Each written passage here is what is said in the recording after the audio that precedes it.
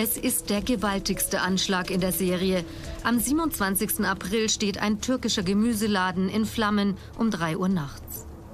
Knapp 30 Menschen sind zu diesem Zeitpunkt im Haus. Einer von ihnen, Franz Xaver Freimuth, erwacht durch die Explosion einer Gaskartusche auf. Das ging ziemlich schnell, wo man dann eben auch vor der Entscheidung stand. Schaut man, dass man die jetzt noch aufwecken kann, die Nachbarn, oder dass man eben flüchtet. Eine Minute oder zwei Minuten länger und wir wären wahrscheinlich gar nicht mehr rausgekommen. Weil es hat dann, wie gesagt, hat ja schon alles gebrannt. Also. Panik bricht aus, als viele der Bewohner durch die Tiefgarage flüchten wollen und eine Kellertür klemmt. In letzter Sekunde geht sie doch noch auf. Und wir wussten ja auch nicht, was danach kommt. Das war ja das Nächste. es sind ja nochmal drei Türen, bis man zur äh, Tiefgarage kommt. Hätte sein können, dass man da nicht mehr rauskommt. Durch sein Eingreifen können sich die meisten Bewohner gerade noch selber retten. Die anderen befreit die Feuerwehr. Doch der Schock sitzt tief. Viele haben ihr Zuhause bis heute verloren. Es gibt weitere Anschläge in Waldkraiburg, oft mit Pflastersteinen, immer auf türkische Läden. Wochen später wird er festgenommen. Ein Deutscher mit türkisch-kurdischen Wurzeln, Muharrem D. Es werden Bomben bei ihm gefunden. Der Polizei sagt er, er sei ein IS-Mann. Natürlich, man wusste nichts. Wir haben immer gedacht, irgendwie rechtsradikal oder so. Am Ende ist sowas rausgekommen. Es hat uns schockiert natürlich. Ein knappes Jahr später in München. Der Prozessauftakt gegen Muharrem D. Wir sehen den Angeklagten zum ersten Mal und fragen uns, warum attackiert ein türkischstämmiger 26-Jähriger ausgerechnet türkische Läden? Handelte er wirklich im Auftrag des IS? Wir fahren nach Waldkraiburg, sprechen mit vielen Beteiligten. Es gelingt uns, Kontakt mit den Eltern des Attentäters aufzunehmen. Sie wollen über ihren Sohn sprechen, aber nicht erkannt werden. Seit Monaten schlafen sie kaum noch, erzählen sie uns. Die Taten ihres Sohnes können sie sich nur durch dessen Drogenkonsum erklären. Er habe sich damit völlig kaputt gemacht.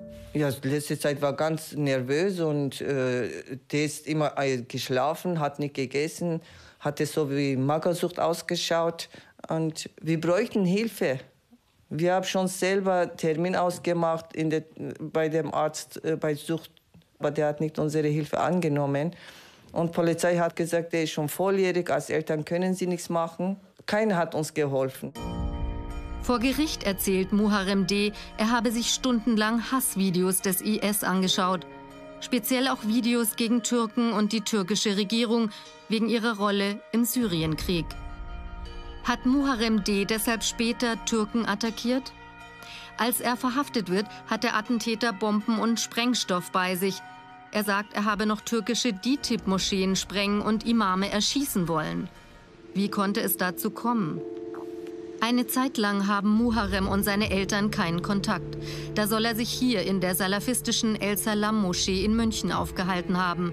Sie wird vom Verfassungsschutz beobachtet.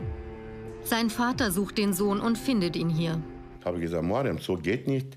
Kommst du mal, deine Schwester, Mama ist auch draußen, kann man sprechen zusammen. Na, ich mag nicht das, sagt er. Na, habe ich gesagt, kommst du mal bitte draußen. Und dann rausgegangen, sie, äh, meine Tochter und meine Frau hat geweint, mir ist auch geweint. Und dann der sagt dann, na, ich komme nicht. Welche Rolle hat die Moschee gespielt? Hat Muharrem D. hier sogar gewohnt? Wir erreichen den Imam der Moschee telefonisch. Er will uns keine Auskunft geben, bestätigt aber, dass er beim Prozess als Zeuge aussagen muss. Wir stoßen auf eine weitere Spur. Muharrem D. sagt aus, er habe Kontakt gehabt mit Bernhard Falk, einem höchst umstrittenen Salafisten. Falk bietet islamistischen Straftätern seine Hilfe an. Auch er steht regelmäßig im Verfassungsschutzbericht. Worum ging es bei dem Treffen? Jetzt hat er vor Gericht behauptet, dass er sie getroffen hätte.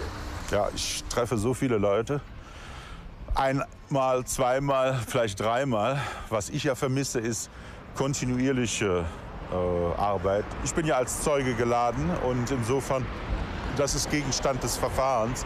Und äh, da möchte ich das dann auch diesbezüglich bei belassen.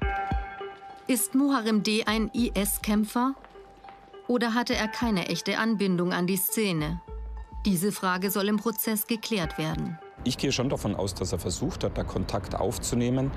Woran es gescheitert ist, weiß man letztlich nicht. Diese Versuche, ins Ausland zu kommen, vielleicht da wirklich mitzukämpfen, die sind schon im Grunde von vornherein gescheitert. Welche Rolle spielte dabei sein geistiger Zustand? In einem Beschluss des Bundesgerichtshofs im Vorfeld des Prozesses wird auf einen Sachverständigen Bezug genommen, der Muharrem D. Schizophrenie bescheinigt.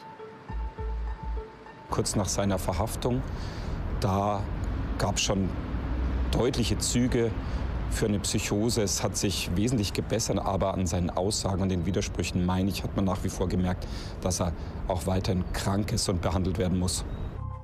Kurz vor seiner Verhaftung taucht Muharrem D. wieder zu Hause auf. Er randaliert, wirkt wie von Sinnen.